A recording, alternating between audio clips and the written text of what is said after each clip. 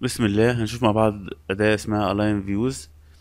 دي بتنظم الفيوهات اللي موجودة في قلب ال sheet. فمثلا هقول له الشيت اللي هو اسمه LO اللي هو دوت خليه لي فوق في النص. Okay. فيتحط فوق. وهكذا. أي حاجة بقول له مثلا حطها فوق في الجنب تحت زي ما أنا عايز.